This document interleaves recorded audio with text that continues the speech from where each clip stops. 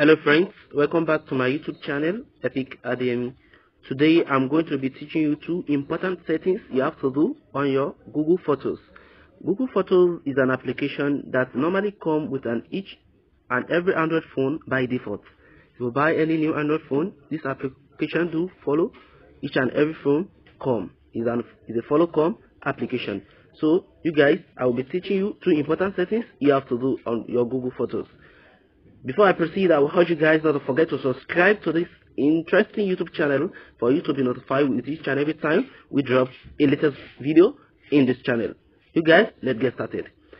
So now what you just have to do is to go to your Google Play Store and uh, search for your Google Photos. As you can see, here is it. You should make sure your photo is updated once the the application is not up to date, you have to update it first. What are the two secrets? What are the two important settings you have to do now?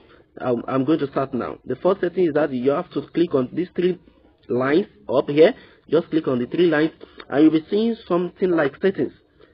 Move to settings as you can see. The fifth option, click on settings.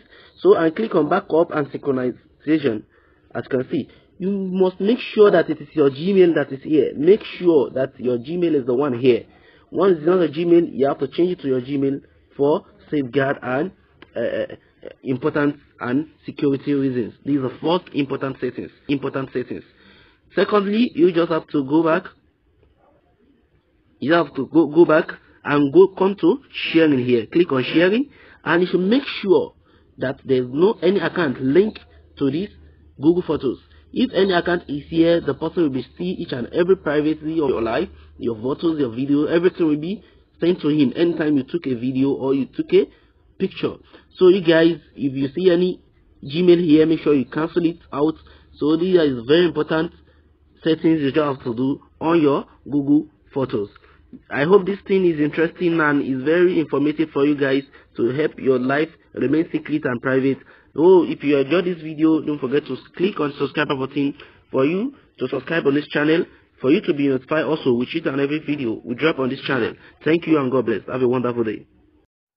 Kindly click on the subscribe button and click on the bell beside the subscribe button for you to be notified when we drop the latest video. And don't forget to like our videos and share to your friends, relatives, and family.